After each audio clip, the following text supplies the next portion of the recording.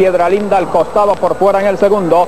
Brickel en el tercero, en el cuarto Carbolita, quinta sumada. Luego Dulce Dama, seguidamente avanza non-stop con la yegua Turquita Sangeri.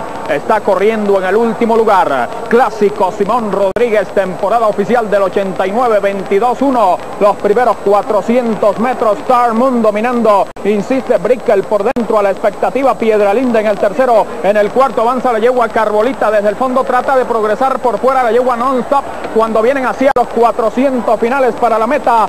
Star Moon adelante. Brickel a la carga por dentro y Piedralinda por el centro. Entran en la recta de las emociones. 45-4 en los 800. Se pone dura en la punta Star Moon. Insiste Brickel por la parte interior. Non-stop corre mucho por el centro de la pista en los finales. Vuelve a la pelea de yegua Piedralinda. Pero se les creció y se les viene de punta a punta. La yegua Star Moon. El clásico Simón Rodríguez con Rafael Bravo Gómez ganó Star Moon número 7.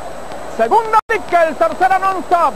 En el cuarto Dulce Dama con Turquita, luego Piedralinda, Carbolita Sangeri y asomada en el último